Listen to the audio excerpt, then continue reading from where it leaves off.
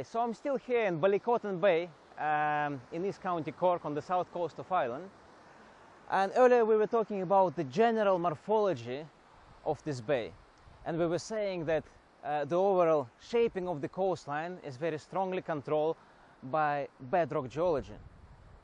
But even pebbles on the beach and the sand on the beach is also very closely linked to the bedrock geology.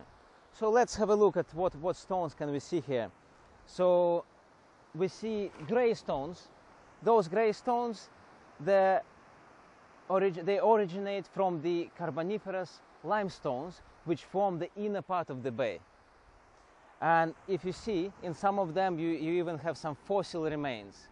So this is a carbonate-rich rock which was formed in a shallow marine environment about 300 million years ago so at the time, Ireland was around the equator, and um, it wasn't an island, it was a shallow tropical sea. But then we see other rocks here. We see red and green rocks.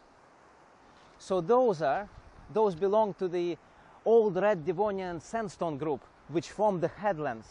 The headland with the Ballycotton Lighthouse and the other headland in Ballymacoda. So Those red and green rocks, they've been formed about uh, 400 million years ago during Devonian period.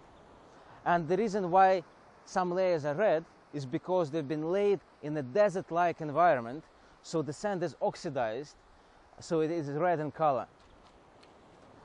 Uh, so largely speaking, what we see here, generally we see like three rock types, gray, light gray carboniferous limestone, and red and green sandstones which originate from the headlands.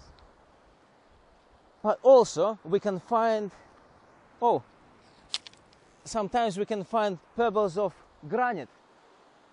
And there is no granite outcrops in anywhere in County Cork. So the closest uh, granite to here will be in Wicklow Mountains. And the question is, how did it get here? So we will talk about this in next video.